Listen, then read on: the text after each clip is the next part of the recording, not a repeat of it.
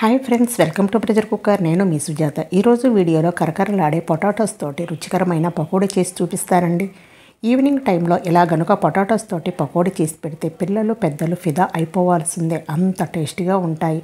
మీరు ఎప్పుడు పొటాటోస్లు తెచ్చుకుంటే ముందుగానే ఇలానే చేసేస్తారు. అంత రుచిగా ఉంటాయి. చేయటం కూడా పది నిమిషాల్లో చేసేసుకోవచ్చు. అంత ఈజీ. అలాగే అంత టేస్ట్ కూడా.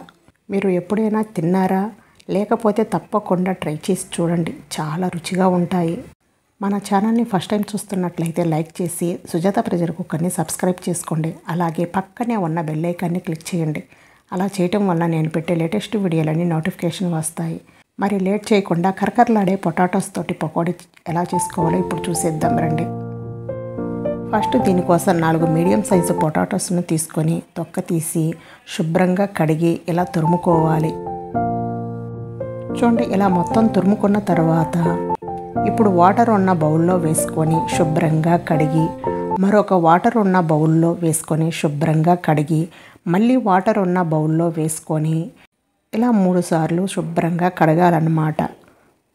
అప్పుడే మనకి పొటాటో పీసెస్ అనేవి విడివిడిగా వచ్చేస్తాయి అన్నమాట చూడండి ఎంత విడివిడిగా ఉన్నాయో కదా.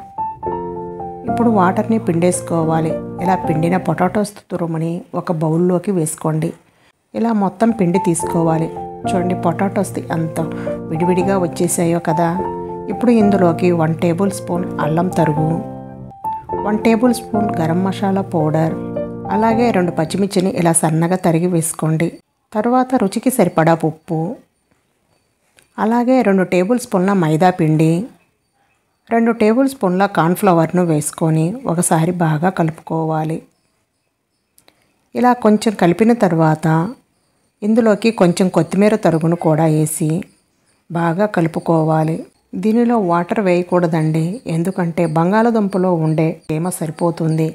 ఇలా బాగా కలిపిన తర్వాత ఇప్పుడు దీన్ని పక్కన పెట్టుకోండి. ఇప్పుడు డీప్ ఫ్రైకి సరిపడా ఆయిల్ పోసుకొని ఆయిల్ వేడైన తర్వాత ముందుగా కలిపి పెట్టుకున్న పొటాటోస్తోని ఇలా పకోడీలుగా వేసుకోవాలి. మీకు నూనెలో ఎన్ని సరిపోతాయో అన్ని పకోడీలుగా వేసుకోండి.